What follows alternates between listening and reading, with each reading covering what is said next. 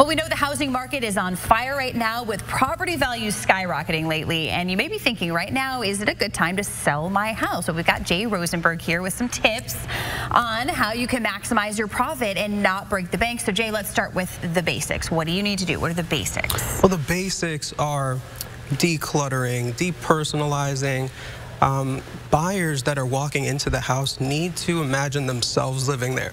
So those pictures of your grandma and your kids, take, those take them on down. Yeah.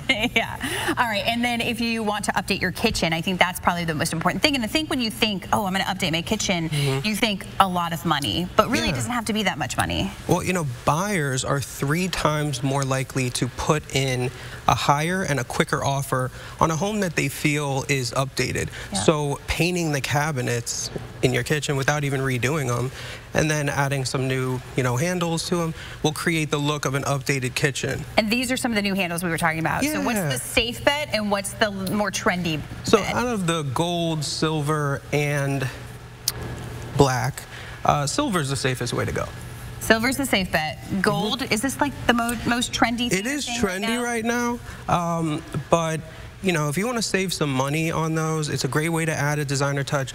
Order them in bulk on Amazon. You know, a save a ton of money. See, all right, and then what is the 80-20 rule? I know you told me about it. Yeah. Tell the viewers, what does that mean? What does 80-20 mean? So 80% of people who walk in your home when you put it up for sale should like your home. It should appeal to 80% of the buyer pool. Mm -hmm. So if you're seeing people come in and they're like, Ooh, kitchen's outdated, I don't like the color of the yeah. walls, then you need to reevaluate. And a fresh coat of paint isn't going to cost you too much money. Right, and maybe some landscaping out front. I yeah, feel like freshen up the landscaping, new doormat. Right. Really small things make a big difference. Awesome. Well, Jay, thank you so much. I really appreciate you being here with us.